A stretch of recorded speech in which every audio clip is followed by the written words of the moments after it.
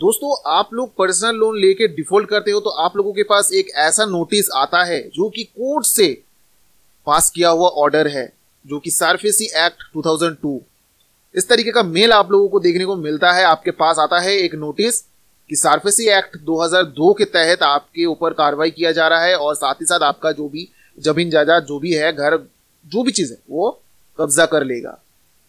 दोस्तों, ये टॉपिक जो है बहुत सीरियस टॉपिक है। आप सभी से मैं रिक्वेस्ट कर रहा हूँ वीडियो देखिए पूरा। आप लोगों को अगर सही इन्फॉर्मेशन चाहिए तो वीडियो पूरा देखना होगा। तभी आप लोगों को जो है पता चलेगा। अगर आप पूरा इन्फॉर्मेशन नहीं सुनते हो, नहीं जानते हो तो बाद में दिक्कत आएगा और फिर आप पूछोगे कि, सर, ये हो गया, अब मैं क्या करूँ? ये आ रहा है मैसेज ये क्या आ रहा है? तो सभी से मैं रिक्वेस्ट करूँ कि आप लोग पूरा ध्यान से देखिए। देखिए दोस्तों, अगर आप डिफ़ॉल्ट करते हो लोन डिफ़ॉल्ट करना क्या होता है आप सभी को पता है।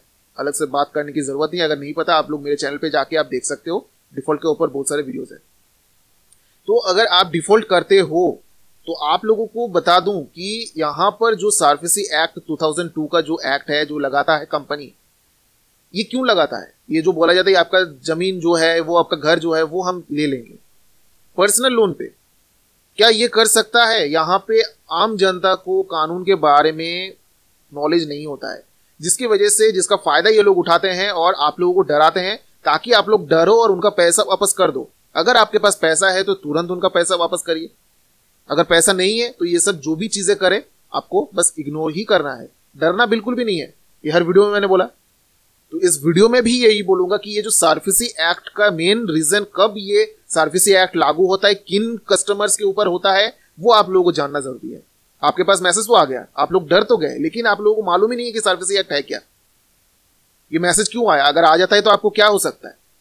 तो यहाँ पे आप लोगों को बता दूँ सर्फेसी एक्ट जो है, वो सिक्योर्ड लोन पे ये लागू होता है। बैंक के पास ये ऑथोरिटीज होता है कि अगर मानो कि आप कोई भी लोन ले रहे हो बड़ा अमाउंट का और आपका घर का पेपर्स आप बैंक में गिरवी रख दिए, या फिर आप ई e के तौर पे गाड़ी ले रहे हो तो वो क्या हुआ? बैंक का एसेट हो गया गाड़ी। आपका एसेट नहीं हुआ। लोन जब तक बैंक का रहेगा, वो एसेट बैंक का रहेगा।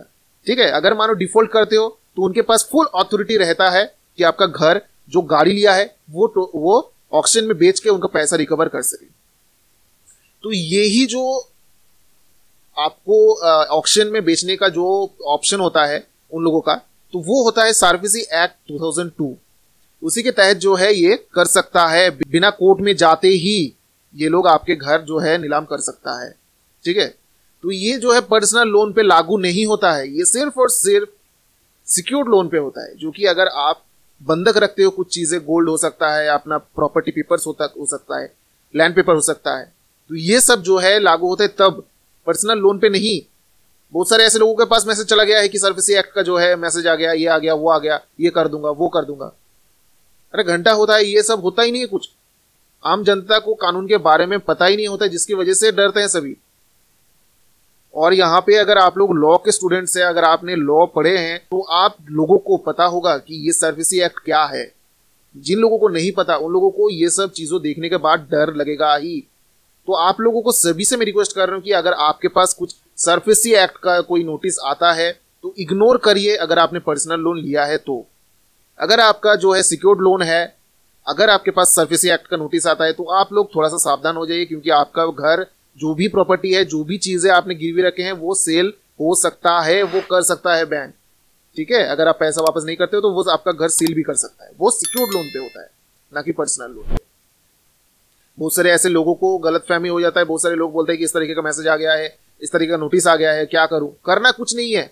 समझना है सिर्फ़ कि आपको जो है, ये लोग डराने के लिए करते हैं, ना कि आप लोगों को ये सब चीज़ें करेगा ओरिजिनली कोर्ट तक ये जा ही नहीं सकता, जा ही नहीं सकता, क्या मतलब है? जा सकता है। ऑथोरिटी फुल है उनके पास।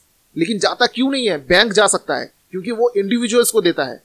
ठीक है? आपके बैंक मतलब आप एक जगह पे रह रहे हो, एक डिस्ट्रिक्ट में रह रहे हो, उसका बैंक जो है, आपके सिटी में जो बैंक है, वहाँ से आपने लोन लिया है।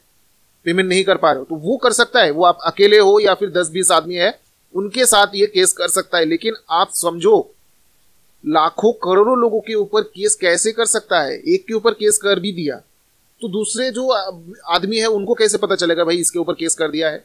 अब ऐसे ऐसे करते करते एक एक एक एक के ऊपर अगर केस करेगा, आप लोगों को पता है कि पेंडिंग केस कितना है अभी तक कोर्ट में? ये सब जो फाइनेंशियल सिचुएशंस में प्रॉब्लम्स में पड़ते हैं। लगभग करोड़ों केस जो है पेंडिंग है। इतना टाइम लगता है, सिर्फ़ अकेला आपका केस तो नहीं चलेगा ना? वहाँ पे लाखों केस चलता है। तो इससे चलते क्या होगा? दस साल, बीस साल, कितना साल लगेगा? यहाँ पे कंपनीज़ को पता है, ठीक है, कि भाई बहुत लंबा प्रोसीड्योर है कोर्ट में अगर चला गया तो।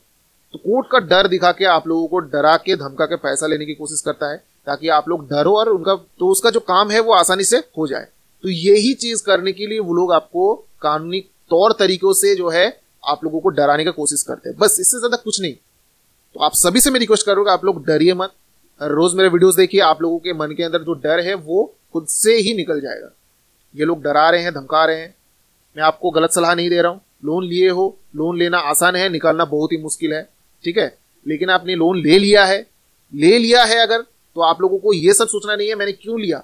ले लिया है, फंस गए हैं, आप लोग इस ट्रैप में फंस गए हैं तो आप लोग निकलने का सोचिए, आप लोगों को डरना नहीं है। अगर आपके पास पैसा है, आप पेमेंट करिएगा, पैसा अगर नहीं है तो कोई कुछ नहीं कर सकता आपके साथ। सिर्फ़ सिविल डाउन होगा, सिविल के लिए आपको कोई चिंता करने की ज़रूरत नहीं है। आज आपका खराब है कल आपको सिविल की ज़रूरत है। आज आप देखिए, आज का टाइम फ्यूचर का आपको सोचने की ज़रूरत नहीं है। आज आपका बेहतर होगा तो फ्यूचर भी बेहतर होगा।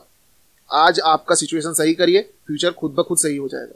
ठीक है? तो सिविल जाओ, जो आप लोग समझते हो कि सिविल खराब हो गया है, अब जो है, क्या करूँगा फ्यूचर में, ये करूँगा फ्यूचर में लोन नहीं मिलेगा। अब फ्यूचर का बात आज का टाइम सही नहीं है। फ्यूचर का बात आप कैसे सोच रहे हो? आज का सही करो। फ्यूचर खुद ब खुद सही हो जाएगा। बात यही पे है। दोस्तों, वीडियो अच्छा लगा है इन्फॉर्मेटिव लगा है तो प्लीज़ लाइक करें, दोस्तों के साथ शेयर करें। सब्सक्राइब बटन प्रेस करना ना भूले दोस्तों, तब तक के लिए चल रहे टेक केयर जय हिंद, जय भारत दोस्तों।